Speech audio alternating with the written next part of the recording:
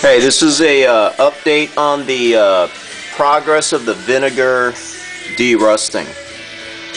The best product by and large is Loctite, and uh, if you ever used it before, it's about seven dollars. But uh, let me show you what that Loctite will do. If you can see it right there, it's turned the rust into black.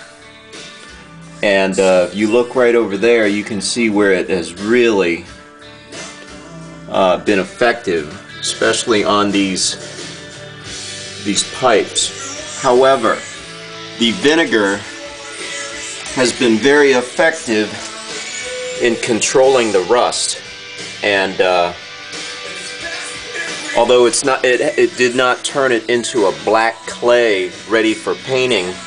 The vinegar has drastically decreased the amount of uh, the amount of rust on the uh, on the brake parts and the underbody.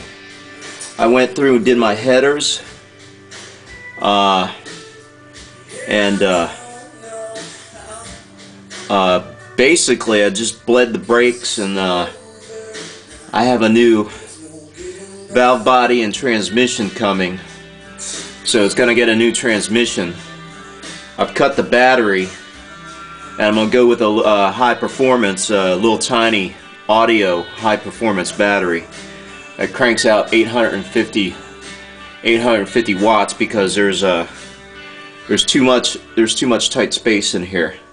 But whatever the case, the vinegar over a large area span did a pretty good job. It did not turn it into a black a black paintable surface like the Loctite did and you'll see it right there. That is ready to paint and um, you know detail and uh, I'm very impressed with the uh, with the overall rust control and I've hit pretty much all the bolts and uh, everything.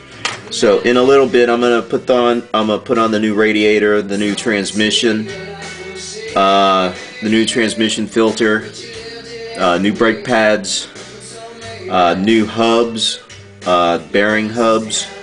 Uh, I may put on new new shocks.